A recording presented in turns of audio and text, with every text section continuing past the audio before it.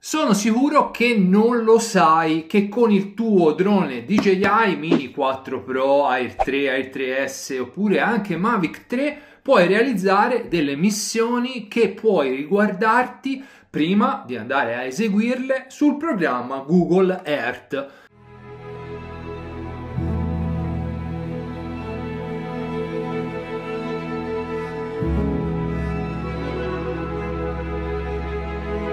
Guardate che spettacolo posso vedere tranquillamente se ci sono ostacoli e posso avere una panoramica incredibile dell'area dove andrò a volare. Ma non solo, posso anche condividere la mia missione con il mio committente chiedendogli ti va bene questa ripresa? Vuoi che facciamo un volo fatto così oppure preferisci modificare qualcosa?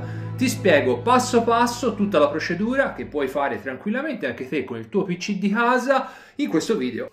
Prima, come al solito, vi chiedo un supporto al canale, anche perché avere accesso a tutte queste informazioni non sempre è semplice. Io ci provo, ragazzi, mi sforzo, però vi chiedo anche di farmi vedere la vostra riconoscenza. Se mi vuoi supportare, beh, un like, un'iscrizione al canale, se mi vuoi supportare ancora di più, ci sono i miei riferimenti, qua sotto potresti abbonarti, ci saranno tanti video sulla fotogrammetria, sull'uso professionale di questi droni.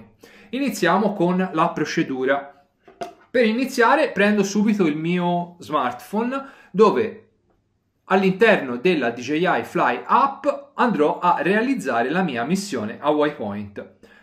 Sono nella DJI Fly, vado su guida alla connessione, vado a scegliere il mio Mini 4 Pro, vado su visuale fotocamera e ho già la mappa di Google. Naturalmente occorre avere una connessione dati per avere la uh, mappa di Google, ma io ho la wifi a casa, sono qui apposta a preparare, a progettare la mia missione, lo facciamo insieme, vi faccio vedere come poi condividerla con Google Street View. Vado a scegliere la mia zona di volo, che è una zona stupenda, ho scelto per fare questo tutorial, questa zona qua, Ok, siamo a Livorno, facciamoci la nostra missione, andiamo a uh, impostare i nostri waypoint, lo facciamo cliccando qua su questa icona qua laterale, vado a scegliere i miei waypoint, faccio un volo tutto attorno alla fortezza, uh,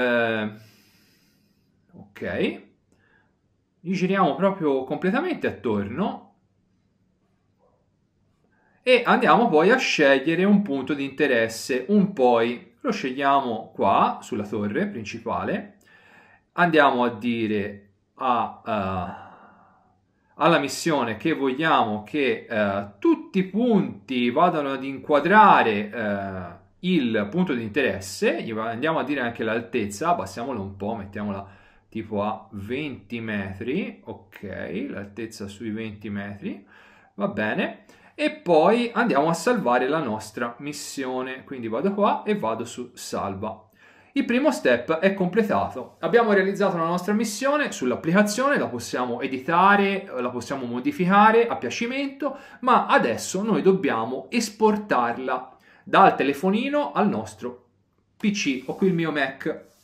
Come farlo? Vi faccio vedere questa procedura con il mio iPhone, ma se avete un sistema Android è semplice, è uguale, basta che andate a individuare il file giusto. Vi faccio vedere come faccio con iPhone. Vado su File, vado su iPhone, vado su DJI Fly, vado su Yline Mission. Questa è uh, la directory dove ci sono tutte le missioni che ho creato e che ho salvato nella mia applicazione. È facile individuare l'ultima missione perché vedo l'orario e quelle eh, più recenti sono ordinate eh, dall'alto verso il basso. Devo scegliere però facendo attenzione perché vedo questa missione con un elemento alle 16.21, l'altra con due elementi. Noi scegliamo quella con due elementi dove all'interno ci sarà il file KMZ. Questo è quello che noi dobbiamo individuare all'interno del nostro dispositivo e lo dobbiamo esportare sul nostro PC. Lo possiamo esportare via mail come vogliamo. Io utilizzo AirDrop perché ho Apple e questo sistema è quello più veloce. Quindi vado su condividi, vado su AirDrop e me la mando sul mio Mac. A questo punto il gioco è fatto. Posiamo il nostro smartphone e andiamo a prendere il nostro computer. Sul computer vado su Lici Utility. Vi lascerò il link in descrizione, lo trovate facilmente, basta digitare lisci eh, scritto litki utilities utilities.com.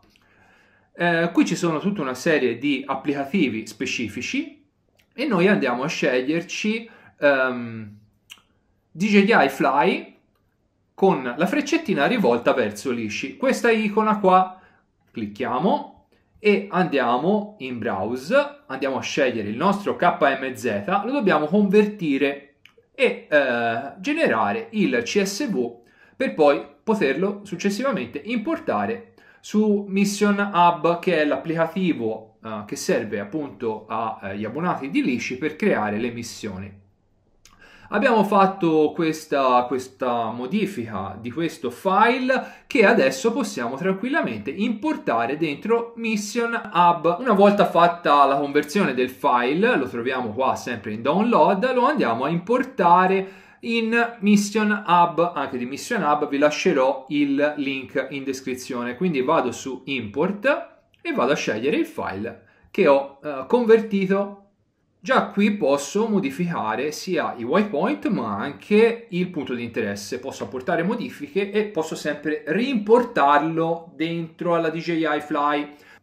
Ma noi non perdiamo la strada, il nostro obiettivo è di trasportare la missione creata qua con la DJI Fly e importarla e vederla soprattutto dentro a Google Earth. Quindi procedendo oltre, noi dobbiamo esportare, esportare il file nel formato qua VLM. Prima di farlo occorre fare una precisazione e un'attenzione particolare. Occorre aver installato una, un'estensione su Google Chrome che si chiama Chrome Lishi Virtual Mission. Anche di questo vi lascerò il link qua sotto in descrizione. Lo scaricate facilmente e eh, sul, mm, su Chrome, sul browser Chrome, lo si attiva da solo una volta scaricato. Fatto questo, un'altra attenzione particolare da fare è quella di andare nelle impostazioni, quindi andiamo qua nelle impostazioni e andiamo a abilitare Use Online Elevation perché facciamo questo? Perché eh, il punto di elevazione che eh, è stato impostato nella DJI Fly è un punto di elevazione locale, quindi tiene conto soltanto da, del punto di decollo e dell'altezza richiesta nella missione. Noi invece in questo modo andremo a dire a, a tutto il pacchetto di file a che riferimento, a che quota di riferimento devono far eh, conto, cioè devono tener conto di una quota di riferimento reale. In questo caso viene utilizzata una quota tramite un sistema online, quindi già referenziato, lui capisce in che zona si trova e quindi tiene di conto dell'altezza giusta. Quindi impostato il flag qua in fondo, corretto, andiamo a esportare il file in VLM, cioè questo qua in fondo, andiamo su export as VLM. Procediamo installando Google Earth, se ancora non l'abbiamo sul nostro PC, lo installiamo nella versione Earth Pro, che è gratuita, anche di questa vi lascerò il link in descrizione, e eh, installata l'applicazione andiamo a fare doppio clic sul file KML vedo che la missione è stata correttamente importata all'interno di Google Earth. Vedete, se espandiamo l'ICI Mission, qua sotto abbiamo Virtual Mission e Diagnostics. Noi interessa Virtual Mission. Facciamo un doppio clic e prepariamoci a vedere la magia. Ecco qua il nostro lavoro, il nostro Uh, progetto uh, di Waypoint, la nostra missione realizzata, che la possiamo condividere con il nostro committente. Ma non solo, possiamo anche vedere se il drone va a sbattere su qualche edificio oppure su qualche ostacolo. In questo modo ci facilita tantissimo se siamo dei professionisti e dobbiamo andare a fare un volo per capire soprattutto il risultato che ehm, avremo una volta effettuata questa missione. Lo possiamo vedere in anticipo in questo modo.